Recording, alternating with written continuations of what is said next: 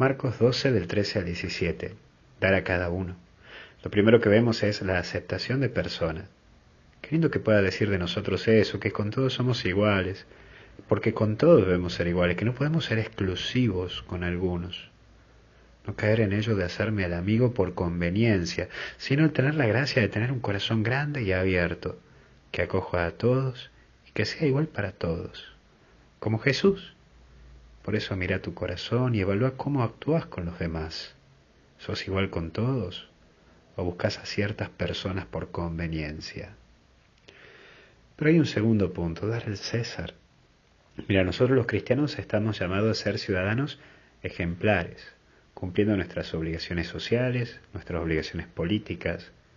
Por eso el laico, ese, ese bautizado que no es cura o religioso, está llamado a evangelizar en la sociedad y el poder llevar la presencia de Dios en las cosas cotidianas.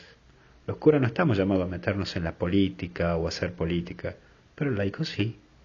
Es evangelizar cumpliendo con las normas, evangelizar siendo puntual en el trabajo, porque eso es evangelizar, evangelizar pagando lo que corresponde a sus empleados, eso es evangelizar, evangelizar buscando lo mejor para todos, eso es evangelizar, porque no podemos vivir con una disociación de vida, en donde somos caritas de santos, de estampitas, dentro de la iglesia, pero somos lapidarios fuera de ella.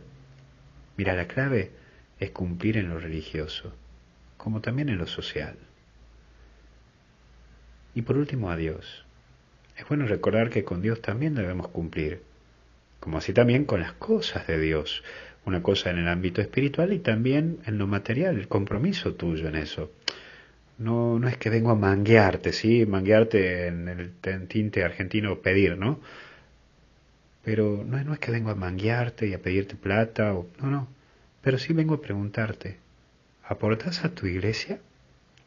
Y en esto, ya sea en tu tiempo, qué sé yo, aunque sea ofreciendo una hora en la semana, dos horitas en la semana, eh, el tiempo aunque sea para ayudar a limpiar, o tu tiempo para ayudar en la secretaría, o tu tiempo para ir a rezar un ratito, o tu dinero, aunque sea, qué sé yo, un aporte mensual, no digo que lo hagas al diezmo, pero bueno, mira, mira cómo los hermanos evangelistas también hacen su aporte o tu talento. Capaz que sabes de electricidad y ves que justo en la capillita cerca de tu barrio está medio rota las cosas de los focos, de la luz.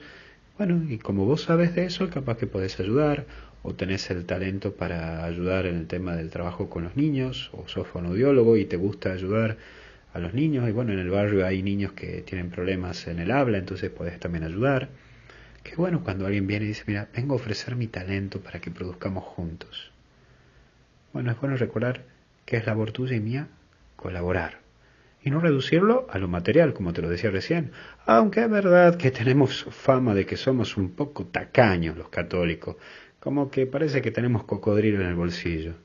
Pobre algunos curas que están viviendo a gatas, ¿no? Así, a poquito, de puchitos, porque muchas veces no tienen, y que hay gente que es un poco tacaña en eso, ¿no? Que la limosna no, no pasa de los dos pesos, tres pesos. Pero también es bueno aportar del tiempo, aunque sea para irte a tomar unos mates con el cura, porque muchas veces está el cura solo en la parroquia o en la casa parroquial, aunque sea para escucharlo, para acompañarlo, para que no se sienta solo, o tomarse un cafecito, o también de ciertos talentos que uno tiene para el sustento del culto, ya sea que te dispongas, ¿no? De ese talento que vos tenés para ayudar al otro, para ayudar a la iglesia, y no me refiero tan solo que se reduzca al cura, a la iglesia en sí en general, por eso recordad que vos sos iglesia y construís la iglesia, una iglesia que es viva. Que Dios te bendiga en el nombre del Padre, del Hijo y del Espíritu Santo. Que Dios te cuide.